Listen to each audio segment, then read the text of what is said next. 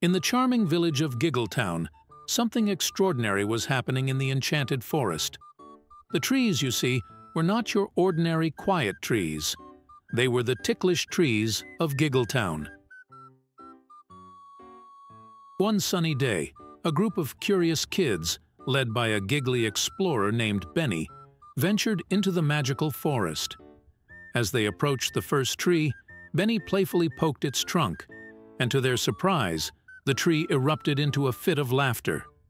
Giggles echoed through the leaves, and the other trees joined in, creating a symphony of laughter that tickled the ears of everyone around.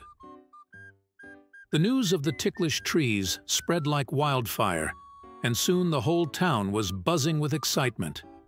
Families flocked to the forest, armed with feathers, funny faces, and even a few tickle monsters ready to explore the giggly wonderland. The ticklish trees loved the attention and responded to every tickle and jest with contagious laughter.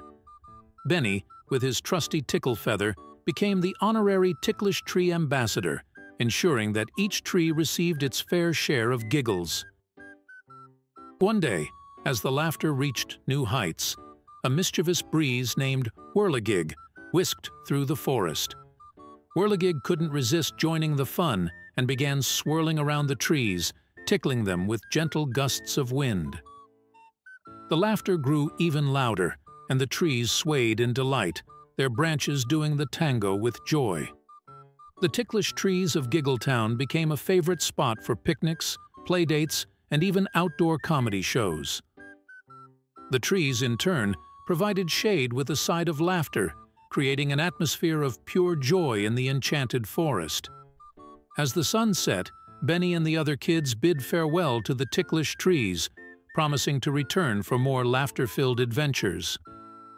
And so, in the village of Giggletown, the enchanted forest remained a magical haven where the trees not only stood tall, but also tickled and giggled, turning every visit into a side-splitting, laughter-filled escapade.